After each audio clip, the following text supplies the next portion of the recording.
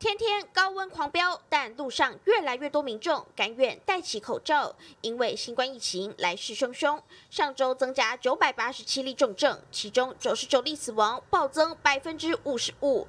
台大医师黄立明示警，统计去年九月到今年三月，新冠病重症是流感的十六点六倍，死亡率更是流感的十一点九倍。但民众似乎有点松懈。之前我确诊过，那第二次是比较不担心啊，毕竟现在药好像也有打过疫苗，然后药现在也蛮充足的。我从来没有确诊确诊过，所以我没有太担心。会担心呐，小朋友会。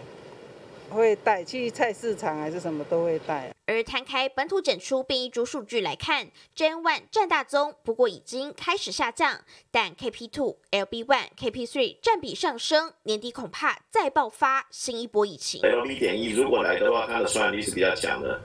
第二个 LB 点一的致病力比起 SBB 呢，并没有比它弱，反而就是稍微会变得更强一点点了。然后第三点就是秋冬的时候，因为天气这个因素会使得感染更容易进行，疾病严重程度会提高。新冠疫情进入高峰期，秋冬病毒肆虐，恐怕还会再升温。长者、慢性病者尤其要当心，有疫苗就先打。面对新冠疫情卷土重来，真的不能轻忽。环宇新闻张翔宇、黄轩轩台北采访报道。